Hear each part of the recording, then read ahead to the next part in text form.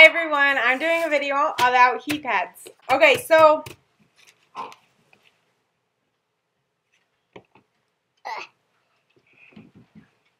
want to get on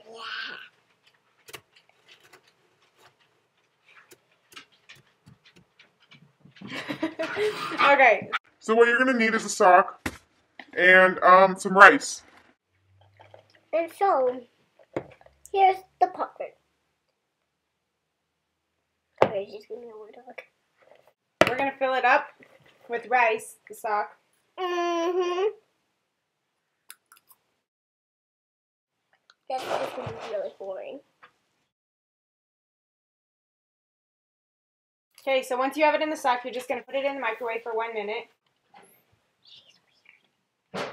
Use it whenever cramps, anything that you would usually put a heat pad on.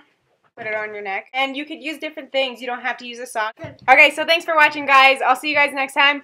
Let me know how it goes for you. Subscribe and tell your friends. Thanks, guys. Bye.